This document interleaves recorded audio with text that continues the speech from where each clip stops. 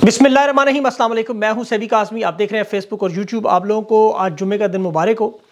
Core commander conference के बाद election का जो ही ऐलान हुआ इस इलेक्शन में, अब ये लाजमी होंगे या नहीं, इसके बाद एक बड़ी मीटिंग हुई।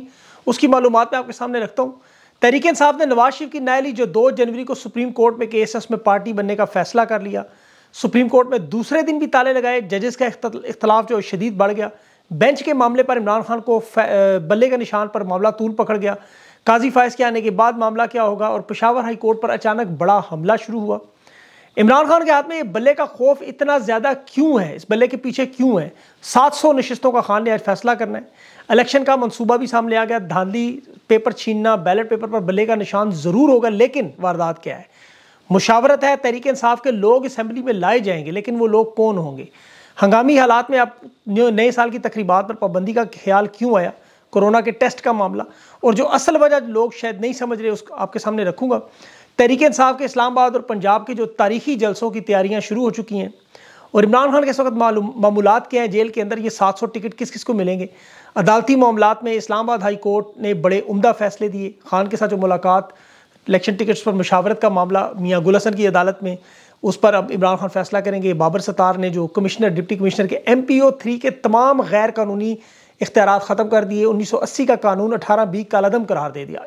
शरियार अफरीद शंदाना की दरख्वास्तें मंजूर, ज़मानत की। और इस्लामाबाद में जलसे की इजाज़त का मामला चल रहा है। बलोच मुजाहरीन की भी कामयाबी, उनकी भी आपको पता है, काफ़ी सारे लोग रिहा हुए। मंजूर पश्तीन के केसेस भी हैं और सबसे बढ़कर जो आज इलेक्शन कमीशन बल्ले के निशान पर सुप्रीम कोर्ट जा रही है।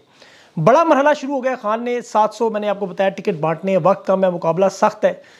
हाई कोर्ट की इजाज़त आ चुकी है। लेकिन सबसे पहले लोग इमरान खान की भी मामूलत को सुन लें। खान इस वक्त मुकम्मल तौर पर फिट, चाको चौबंद जहनी जिसमानी, दीनी, दुनियावी एतबार से कायम दायन।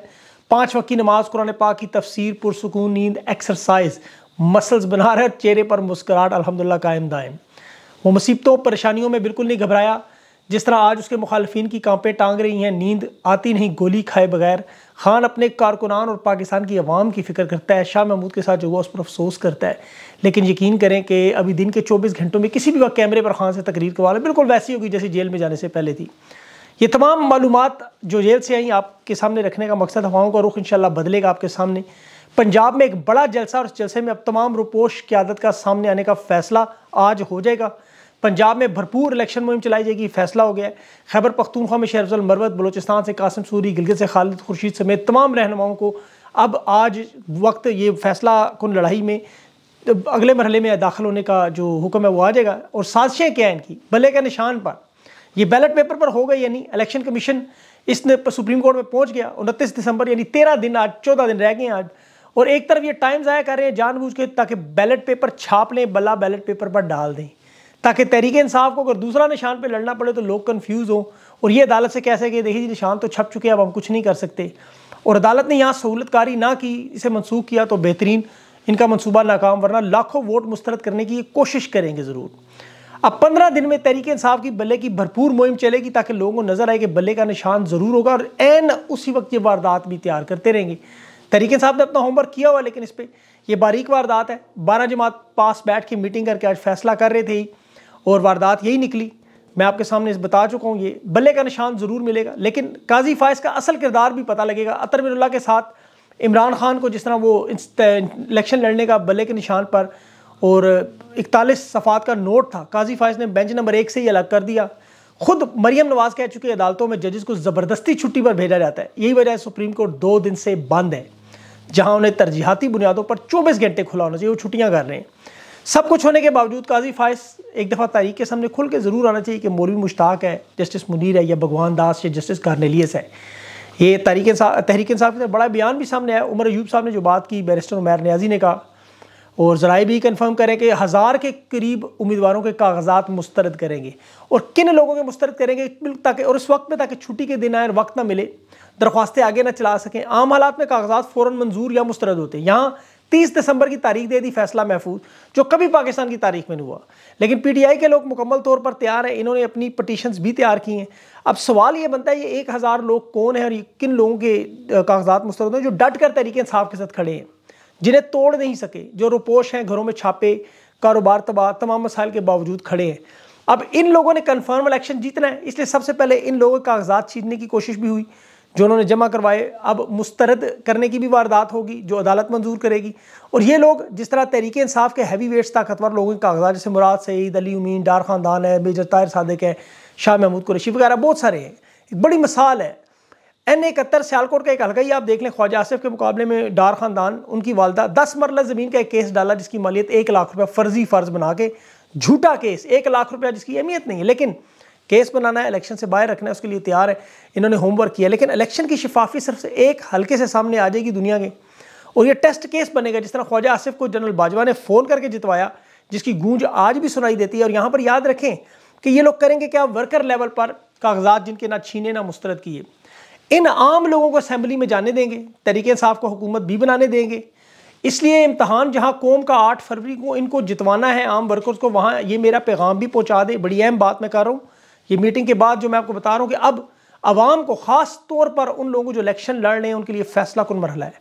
कागजात मंजूर होंगे, आप इलेक्शन जीत भी जाएँगे। और फिर ये ऐसे लोग सामने आएँगे जिन्हें ये मैनेज करने की कोशिश करेंगे और बड़े आराम से। यहाँ इन्हें सरप्राइज़ मिलेगा क्योंकि आवाम पहली दफ़ा पाकिस्तान की असम्बली में पहुँचेगी और ये आम वर्कर का बड़ा इम्तहान होगा कि वो अपना जेन बनाए तमाम कुर्बानियाँ। किसी किस्म की ज़मीर फरोशी, हार्स ट्रेडिंग, इनकी मंडियों का हिस्सा नहीं बन सकता। जो जुल्म सितम गिरफ्तारियाँ, कारोबार, तबाह, इज़्ज़त पर हमले, दौलत की लालच, ये तमाम चीज़ों से मुतासर नहीं हो सकता तो जाए, वरना अभी भी वक्त है। असम्बली में जाके ये वारदात कौम बर्दाश्त नहीं करेगी, वरना परहेज खटक राजा रियाज नूर आलम जैसे लोगों का हाल देख लें। आज ये अपने बच्चों का भी सामना नहीं कर सकते। दूसरी बड़ी वारदात, तहरीक इंसाफ की, इलेक्शन मुहिम रोकना। उसका हल भी निकला है। सरकारी सतह पर तो उन्होंने नया साल की पाबंदियाँ लगाई, लेकिन अवाम कभी भी नहीं मानी पाकिस्तान की तारीख है। कोरोना टेस्ट भी इन्होंने शुरू कर दिया उसकी भी मैं आपको वजह बताता हूँ। अभी देखिए, इन्हें खबर मिल चुकी है कि नबे लाख पाकिस्तानी जो है, वो इरादा बना रहे हैं। बड़ी तादाद में इलेक्शन के दिनों में पाकिस्तान आए और इमरान खान की मुहिम भी चलाएँ, फ्लैक्स बनाएँ, पोस्टर बनाएँ, माली इमदाद करें और उसके साथ साथ वोट भी डालें। ओवरसीज़ पाकिस्तानियों का वोट फैसला कुन किरदार अदा करे। ये ख़ास तौर पर, चूँकि उन्होंने जाली वोटों का एक सिलसिला बनाया अफगान महाजरीन के नाम पर उसे नाकाम करने के लिए ओवरसीज़ पाकिस्तानियों का वोट बड़ा अहम है और इसका बहुत बड़ा तोड़ है। इसीलिए कोरोना के टेस्ट दोबारा शुरू करने का मामला इन लोगों को तंग किया जाए, अवाम के अंदर ताकि हिजान पैदा किए। लेकिन यहाँ ये नाकाम है, क्योंकि जिन लोगों के नाम लिस्टों में मौजूद है, वो नहीं आ रहे। मैं उन्हें मशवरा भी नहीं दूँगा बजाय, ज़ाहिर वहाँ गदर ही होगा उनके लिए। अवाम खुद आ रही है, ओवरसीज़ पाकिस्तानियों को जो पैगाम मुझे जो मिले हैं, वो पाकिस्तान पहुँच चुके हैं। बहुत सारे उनके पीछे पीछे जा रहे हैं। तो इस तरह सरकारी सतह पर जो नए साल की तकरीबा ये मनसूख करेंगे, अवाम ना निकले। इन्हें पता है, नए साल की तकरीबात के बहाने में अवाम ने बाहर निकल के इमरान खान की इंतबी मुहिम चला देनी है, जो अभी भी चलाई जाएगी। याद रखे रोक नहीं सके, पहले भी, अभी भी नहीं। फ़लस्तीन का इन्होंने नाम इस्तेमाल किया बड़ा दुख है। हालाँकि पंजाब पुलिस, इसराइल की पुलिस से ज़्यादा जुल्म सितम करी मैं आपको गारंटी दे गया हूँ। इतना जुल्म सितम कि अब लोगों को फ़लस्तीन ही नहीं याद रहा। इन्हें फ़लस्तीन का इतना ख्याल होता, लाहौर में बारह दिन जो उन्होंने कल्चर के नाम पर जो शुरू किया गंद नाच गाना, बेहूदगी करते रहे, मैं क्या नाम लूँ? अब इन्हें बलोच आज चमन में सत्तर दिन से बैठे पाकिस्तान का दूसरा बड़ा धरना। बलोच बची है इस्लामाबाद प्रेस क्लब में। सामने बैठी उनके स्पीकर उठा के ले जाते हैं, उन्हें गिरफ़्तार करते हैं, ठंडा पानी फेंकते हैं, जुल्म सितम करते हैं, ज्यादतियाँ करते हैं उनके साथ। पूरी दास्तान है। आज उनके कुछ लोग रिहा हुए। एक नौजवान नौ साल के बाद रिहा हुआ। आप देख लें वो माओ बहनों बेटियों उसे देखे पहचान नहीं सकें। इतना जुल्म। और इस जुल्म सितम में आप देखें अलीट क्लास अमीर गरीब का फ़र्क ख़त्म हो गया। ज़ात पाक मसलक सुबाइत सब मामला ख़त्म। इस वक्त पूरा पाकिस्तान एक इकाई बन चुका है ये इनकी मेहरबानी है। एक तरफ़ एलीट क्लास पाकिस्तान के जो मौजूदा निज़ाम के ताकतवर लोग, खदीजा शाह की सूरत में, जो सबक आर्मी चीफ की नवासी बरतानवी शाही ख़ानदान की डिज़ाइनर तो दूसरी तरफ़ पसमानदा इलाके की मजलूम बलोच की डॉक्टर महारंग बलोच। एक तरफ़ अलीमा खान है तो दूसरी तरफ़ सनम जावेद है। इमरान खान की वजह से एक तरफ़ अकलीती रुमेश कुमार, अकलीती बरदरी, दूसरी अलामा राजा नासर अब्बास। इन्होंने जुल्म सितम को सब कुछ जोड़ दिया है। इमरान खान के झंडे तले जमा कर दिया है और इनका हर दाव इसीलिए बैकफायर होता है, नाकाम होता है। अभी देखिए, कुछ लोग कह रहे थे कि इन्हें तो उम्मीद नहीं थी कि ये इतना गिर सकते हैं, लेकिन जब भी सोचते हैं, ये सोच से भी चार गुना ज़्यादा नीचे गिर जाते हैं, पस्तियों में। इन्होंने कैंसर अस्पताल शौकत खानम की फंडिंग बंद करवाई। वो अब चार गुना ज़्यादा बढ़ जाएगी। आप देख लीजिएगा।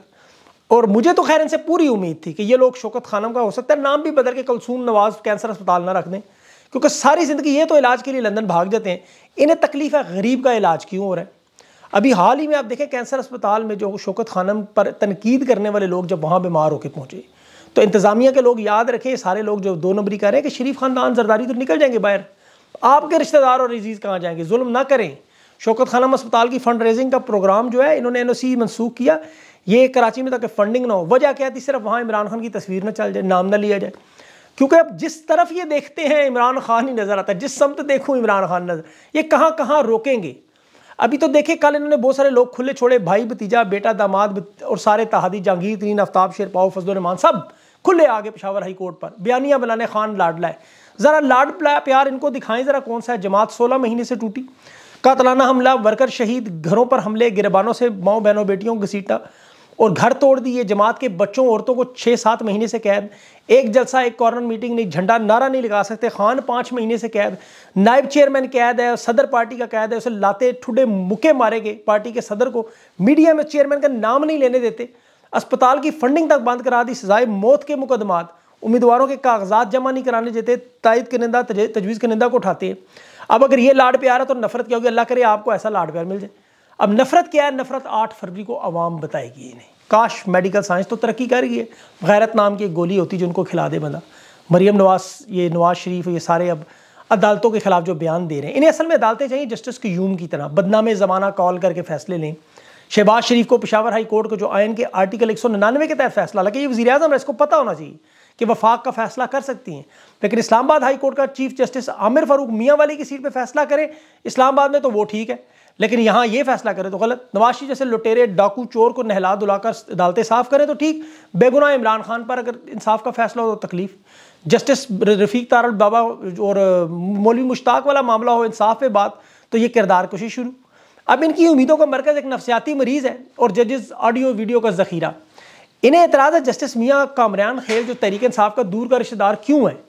और लाहौर के देखें, सुप्रीम कोर्ट का चीफ जस्टिस उमर बंदयाल सबक, उसका दामाद नून लिखा था कोई मसला नहीं। बैरिस्टर हसनैन, ये सरदार मसूद का इमरान खान के खिलाफ केस, लड़ता रहा अटॉर्नी जनरल। टरियान केस, कोई मसला नहीं। मियाँ गुल हसन औरंगज़ेब ने ये नहीं पता इस्लामाबाद हाई कोर्ट का जज स्वाद से है, लेकिन उसका आधा खानदान नून लीग में। जस्टिस अतर मिनोला का मामू नून लीग का, आपको पता है, रहनमा साबिर शाह है। और वकील जो इनका, अक्रम शेख, उसका बेटा राहील कामरान लाहौर का हाई कोर्ट का जज है। लेकिन तहरीक इंसाफ ने तो कभी इनके बारे में कोई बात नहीं की। असल में मामला वो जो एक भरम था, वो टूट गया। नून लीग का किला है शबाज शरीफ अच्छा एडमिनिस्ट्रेटर है नवाज़ शरीफ आएगा, लाखों निकल आएँगे। ये सारे भरम वादे टूट गए।